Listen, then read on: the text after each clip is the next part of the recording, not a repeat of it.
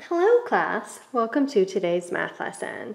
Today we are going to be talking about fractions or parts of a number. Here we have one circle. It is one whole circle. Here we have the circle divided into two yellow pieces. Our one circle has two pieces. If we only have one out of the two pieces, we would say that we have one half of the circle. Hmm, how many pieces do we have here for this circle? That's right, there were four pieces to cover the circle.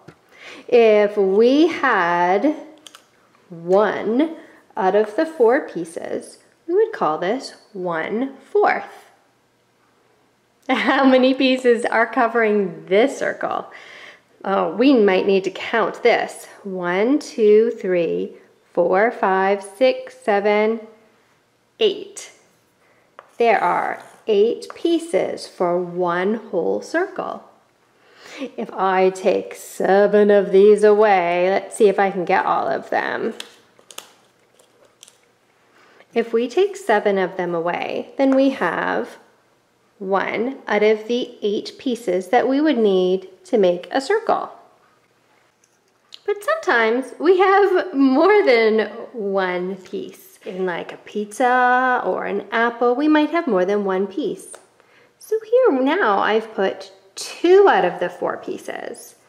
So I'm going to erase my one and I'm going to write down two out of the four or two fourths. Hmm, what would we have if I had three pieces? That's right, three fourths.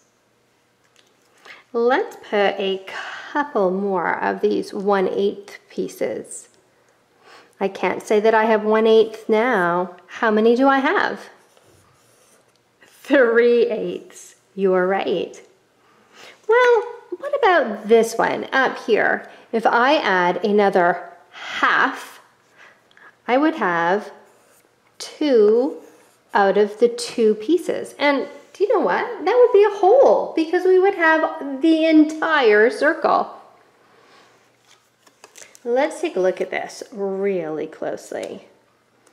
This is one half or one out of the two pieces that we would need to make a circle. But I'm wondering, how many of the one-fourth pieces would we need to cover one half? Can you guess? Let's try it. How many pieces did I need? Yes, I needed two. So I have two out of the four pieces. And that is the same amount, or it covers the same area as one half. Two fourths and one half look like the same amount. I wonder how many of the one eighth pieces would we need to fill one half of the circle? Can you guess?